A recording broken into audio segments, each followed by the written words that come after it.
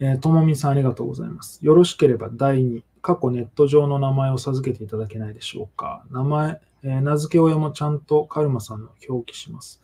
あ、いらないですね。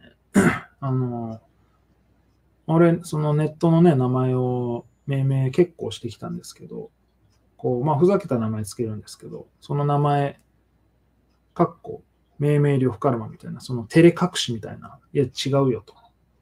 そんなんさ、だって自分で名乗るときにさ、まあ大体両親が名付けてるけど、名前の横にこの両親命名とかさ、書かないじゃん。そのそんな言い訳いらないのよ。言い訳っていうか、その、名付け親両夫カルマって表記いらないんでね、あの、ストレートに、あたかも自分で考えて名乗ってるかのように、名乗るっていう条件だったら名付けますよ。えっ、とね、えー、そうだな。えー保健の先生です。はい、保健の先生と名乗ってください。あの、命名量不カルマの表記いりませんからね。保健の先生と名乗ってください。